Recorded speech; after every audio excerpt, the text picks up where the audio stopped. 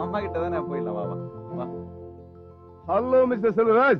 Hello sir Ah, ah, how are you? Very fine sir how are you sir Ah. Ah, Good morning, சொல்லு, good morning, சொல்லு. Ah, ah, இங்க Mrs. Delivery time admit பண்ணிருக்கேன் sir So early. On, வீட்டுல. இல்ல இல்ல sir பரவாயில்ல sir நடந்து போயிடும். Ah, okay, fine. Okay sir Okay. Okay Ah, tata சொல்லு டாடா சொல்லு. டாடா. நீயே சொல்லு. டாடா. ஓகே ஓகே சார்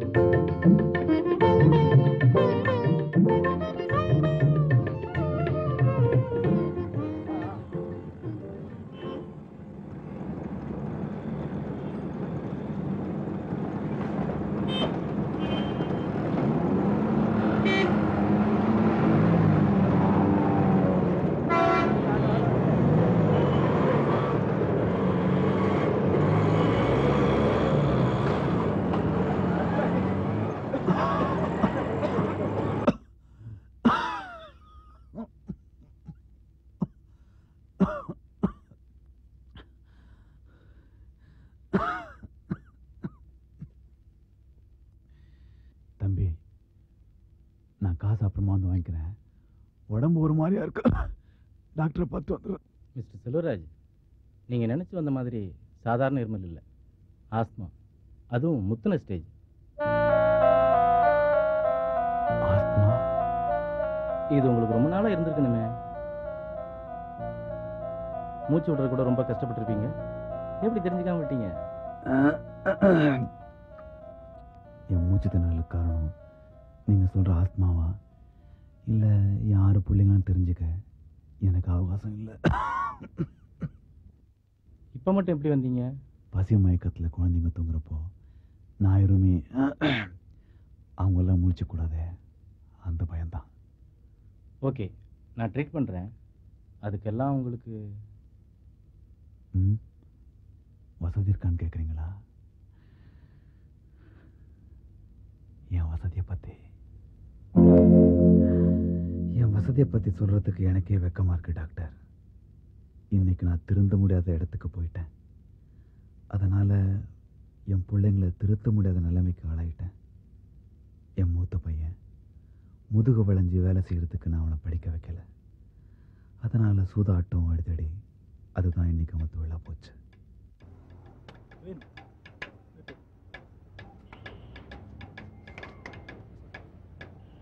நாளை நாளைக்கா? அட நாளை கொடுத்துருங்க. வைக்கிறியா இல்ல சட்டை லுங்கெல்லாம் கைட்டு வைக்கிறியா? நாளை கொடுக்கணும்டா. டேய் எப்படா கொடுப்ப? உங்க அப்பனா தெரு தெருவா பிச்சை எடுக்கிறான். எப்படா காசு கொடுப்ப? யாரை பார்த்துடா பிச்சைக்காரன் சொன்னா?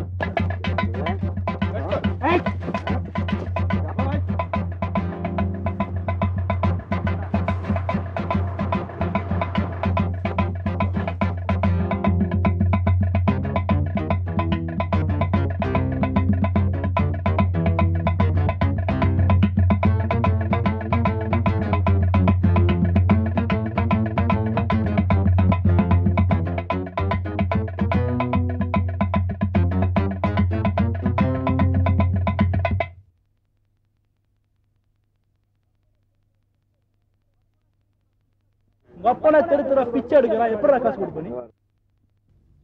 என்னோட ரெண்டு பொண்ணுங்க. என்னால் இன்னைக்கு வசதி படைச்ச என் சொந்தக்காரங்க விடுங்கள்ல. அவங்க கூப்பிடுறப்பெல்லாம் ஓடி போய் வேலை செய்கிற நிலைமைக்கும் வேதனைக்கும் ஆளாயிட்டாங்க.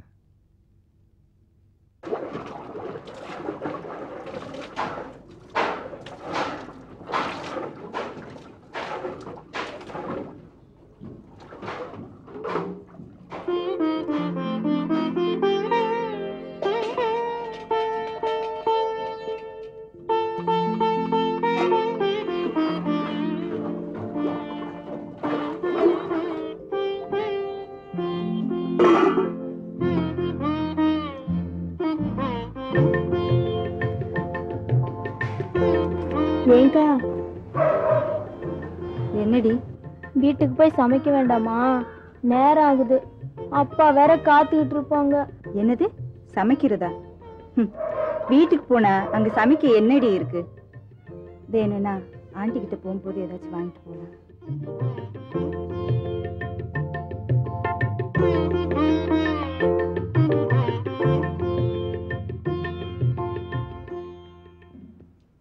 என்னம்மா? அது இதுன்னு சொல்லிட்டு சீக்கிரமா போயிட பாத்துறாதீங்க. அதிரசம் முறுக்கு எல்லா வேலையும் முடிச்சிட்டு ஒரேதான் சேர்த்து போலாமா அத்தைக்கே முடியல. என்ன பண்றது? அதனால தான் உங்களை எல்லாம் கூப்பிட்டு அந்த வேலை செய்ய இந்த வேலை செய்யுன்ற ம் செய்யுங்கம்மா செய்யுங்க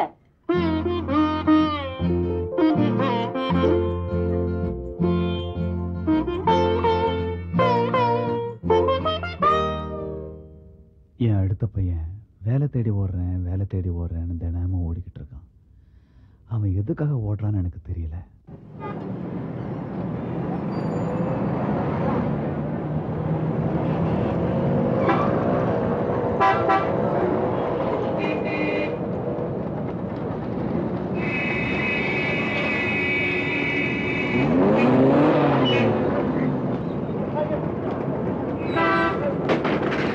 என் கடைசி ரெண்டு பிள்ளைங்க சாதாரண ஸ்கூலில் படிக்கிறாங்க. ஏதோ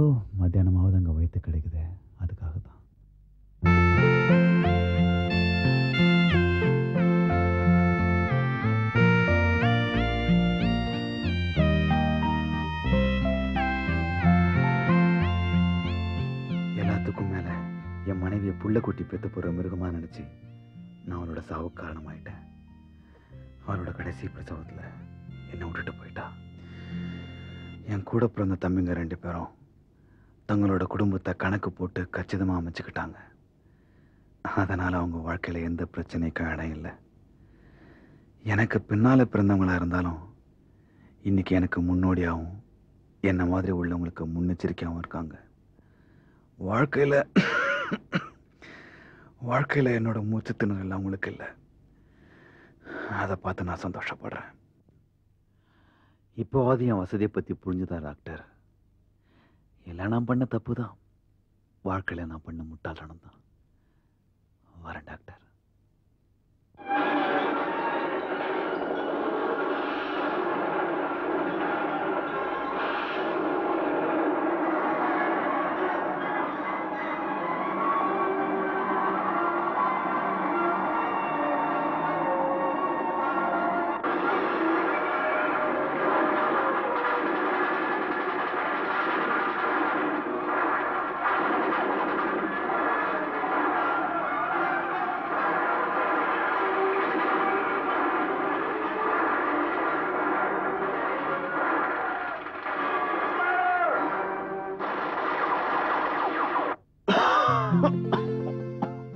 பெரியப்பா என்ன பெரியப்பா? படம் பிடிக்கலையா? எந்திரிச்சு வந்துட்டீங்க? வாழ்க்கையில நான் பார்க்காத போராட்டங்களா வேதனைகளா? அதையே கொண்டு வந்து காமிக்கிறியம்மா. இல்ல பெரியப்பா சார்லி சாப்ளின் படம் தான் சொன்னாங்க. அப்போவாவது நீங்க சிரிக்க மாட்டீங்களான்னு தான் உங்களை கூட்டிட்டு வந்தேன். ஆனா படத்தை மாத்திட்டாங்க. என்ன மன்னிச்சிடுங்க பெரியப்பா. பரவாயில்லம்மா. வா.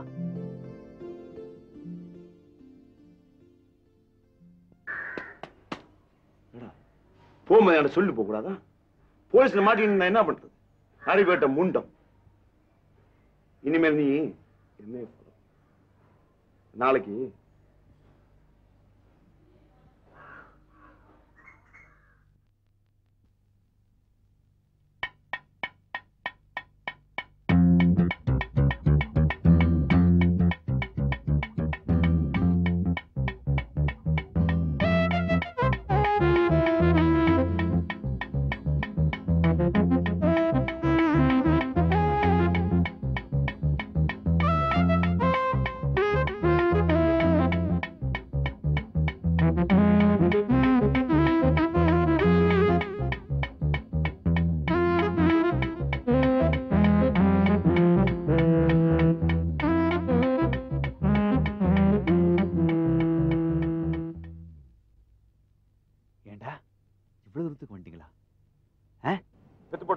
போதுமா வாபத்துக்கு என்ன பண்றது? கல்ச்சர் உதயமா பார்க்க முடியும். அதான் இது. உங்களை பெத்ததே தண்டனை. நீ ஒட்டுக்காடு சொல்லி கொடுத்தியாடா? டேய். உங்களை பெத்துட்டு நான் படுற அவஸ்தை போதாதா? போங்கடா போய் இந்த சைக்கிளை வச்சுட்டு வாங்க. இல்ல நானே போலீஸ்ல பிடிச்சி கொடுத்துருவேன். போங்கடா.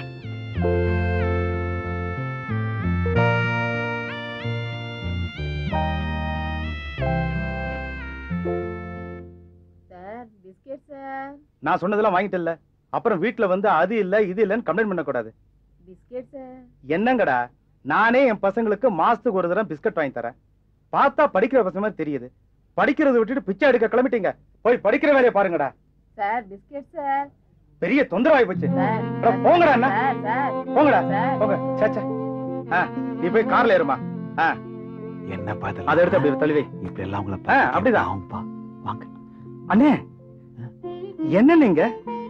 ராமு நான் தான்ப்பா சௌக்கியமா? நல்லா இருக்கண்ணே. நம்ம பிள்ளைங்களா அது ஆமாப்பா என் பிள்ளைங்கள இடம்லாம் தெரியாட்டியும் என்ன தெரிஞ்சுக்கிட்டிய. ஊர்ல இருந்து எப்போ வந்த? வந்து ரெண்டு நாள் சென்னை பிஸ்கட். வேணாம் வேணாம் பரவாயில்ல. வீட்டுக்கு வர்றது? வாசன் வீட்டுல தங்கியிருக்கேன். ஏண்ணே வாசனை விட்டு கல்யாண பத்திரம் உங்களுக்கு வந்துச்சுல்ல? பெரியப்பா கிட்ட பொண்ணு கொண்டு வந்து கொடுத்துச்சுப்பா. கண்டிப்பா வந்திருக்கண்ணே இதெல்லாம் சொல்லணுமா? ஆ, வீட்டுல எல்லாம் சௌக்கியம் தானே? நல்லா இருக்காங்க வாங்கண்ணே என் கார்ல டிராப் பண்ணிடுறேன். நடந்தே பழகிட்டேன். வரண்டா கண்ணு. இங்க சரஸ்வதிங்கிறது. என்னம்மா கல்யாண பொண்ணு? நீ முன்னாடி போ நான் பின்னாடி வரேன்னு சொல்லிட்டு என்னை இங்கே வெயிட் பண்ண வச்சுட்டேன். ஐயோ என்னால் இங்கே ஒரு நிமிஷம் கூட இருக்க முடியாது. உனக்கு ஒன்றும் புரிய மாட்டேங்குதே. பாருடி இது ஒரு காலத்தில் எங்கள் அப்பாவோட கடைடி இன்னும் உனக்கு புரியாது. கடையில் கணக்கு பார்க்குற நேரத்தில் வீட்டில் இருக்க பிள்ளைங்களா எண்ணிக்கிட்டு அதுங்களுக்கு என்ன தைச்சு என்னாச்சு? கடைசி கடையில் நஷ்டம் ஏற்பட்டு கடையில் மூழ்கி போச்சு. சரி சரி. என்னால் இதுக்கு மேலே இருக்க முடியாது. சொன்ன கேளுடி. பாரு உனக்கு எந்த சேலை பிடிக்குதோ அதில் ஒன்றோ ரெண்டோ எது வேணாலும் வாங்கிட்டு வா. இல்லை எனக்கு ஒன்றுமே வேண்டாம். நான் எப்போ போகணும்டி? நிச்சயமாக உன் கல்யாணத்துக்கு போவேன்.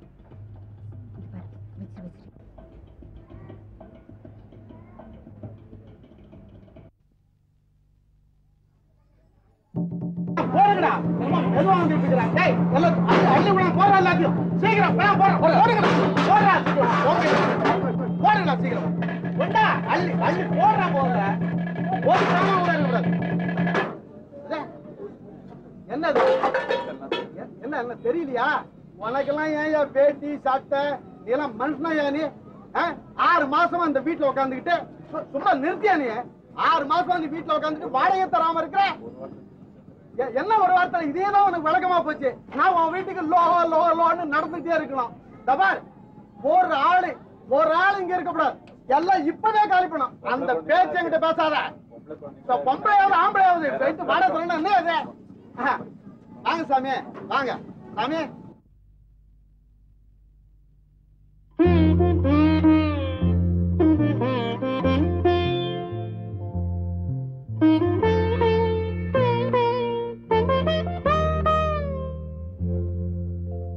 சாமிங்கிறது வாயில மட்டும் இருக்கக்கூடாதியா? மனசுலயும் இருக்கணும். எல்லாரும் சாமி தான் அவரும் சாமி தான் நீயும் சாமி தான் அதை மனசுல வச்சு நடந்துக்கியா? என்னையா அது? எல்லாமே தெருவுக்கு போயிடுச்சுப்பா. எங்களை தவிர நாங்க தான் பாக்கி. ஏய்!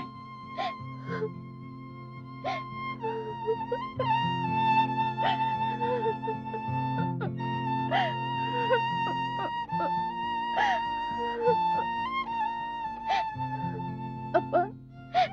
என்ன மன்னிச்சிடுங்கப்பா. என்ன மன்னிச்சிடுங்க.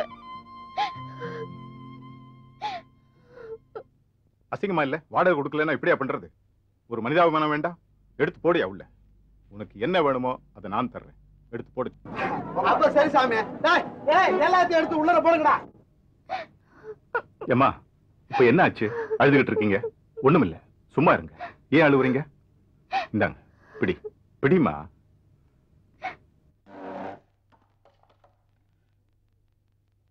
தைரியமா இருங்க செல்வராஜ். இதுக்கெல்லாம் கவலைப்படுறதுல அர்த்தமும் இல்ல லாபமும் இல்ல. சரி சரி. நான் வந்த வேலையை மறந்துட்டேன். உங்க ரெண்டாவது பையன் போலீஸ் ஸ்டேஷன்ல இருக்கான். அது உங்களுக்கு தெரியுமா? என்னாச்சு? ஒண்ணுமில்ல. ஏதோ சாதாரண திருட்டு தான். அழுதுகிட்டு இருக்கான். அவனை போய் பார்த்து ஏதாச்சும் பண்ணுவோம். வாங்க. என்னம்மா? எல்லாரும் சாப்பிட்டீங்களா? இந்தா. இல்ல நீங்க சும்மா இருங்க சாமி. செல்வராஜ் நீங்க சும்மா இருங்க. இந்த இந்த இத வாங்கிக்க. பிடி. சொல்றத கேளுமா. போய் ஆக வேண்டியதை பாரு. போ. தம்பி பாத்துக்கப்பா. நான் வரேன். நீங்க வாங்க வாங்க வாங்க.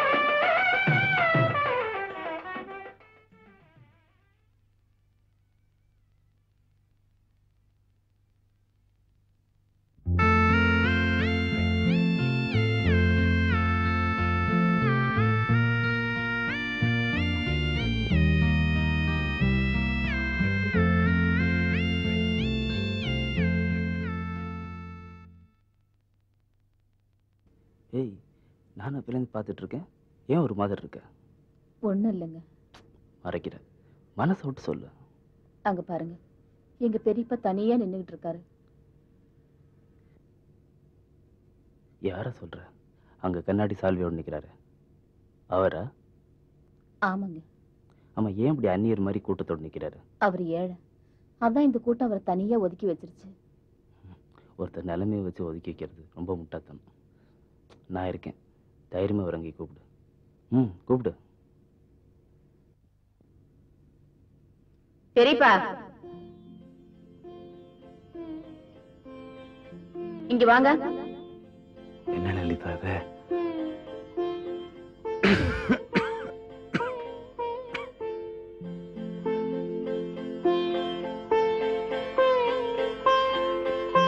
என்னம்மா ஏன் பெரியப்பா அப்படி போய் ஒதுங்கி நிக்கிறீங்க? நான் ஒதுங்கி நிக்கிறது மத்தவங்களுக்கு உதாரணமா இருக்கத்தான். நான் ஒதுக்கப்படுறதும் எல்லாருக்கும் பாடமா இருக்கத்தான். எங்களை ஆசீர்வாதம் பண்ணுங்க பெரியப்பா. அம்மா பெரியப்பா வெறும் கையோட வந்திருக்கேன். ஆனா உனக்கு யாருமே தர முடியாத பரிசு பொருளா என் புத்திமதியை தான் கொடுக்க போறேன். இங்க இருக்கிற யாருமே என்ன தள்ளி வைக்கல. இந்த சமுதாயமே என்ன ஒதுக்கிடுச்சு. காரணம் காட்டுப்பூக்கள் மாதிரி என் குடும்பத்தை நான் பாழாக்கிட்டேன். அதை மாலையா தொடுத்து புனிதப்படுத்துறதுக்கோ பராமரிக்கவோ பாதுகாக்கவோ எனக்கு சக்தி எல்லாம் போயிடுச்சு. மேய தெரிஞ்ச ஜீவன்களுக்கு முன்னால நான் மேய்க்க தெரியாத மனுஷனாயிட்டேன். கேப்பாரும் காப்பாரும் இல்லாம போன என் குடும்பத்தை என் மடமைக்கு நான் காவு கொடுத்துட்டேன். வாழ்க்கையில பொறுப்பு இல்லாம ஒழுங்கான திட்டம் இல்லாம குடும்பத்தை பெருக்கி பெரியப்பா பிச்சைக்காரன் ஆயிட்டேன் இந்த நிலைமை யாருக்கும் வரக்கூடாதும்மா. உன் குடும்பம் பூஜைக்கு தொடுத்த பூமாலையா கவனமா அளவோட அழகா தொடுக்க பண்ணோம். இத்தம்மா ஆசீர்வாதம். நான் சொன்னபடி செய்வேன்னு சத்தியம் பண்ணி கொடுப்பீங்களா? நீங்க சொன்னதை நான் என் மனைவிக்கு கட்டின தாலியை போல புனிதமா நினைக்கிறேன். இது சத்தியம்.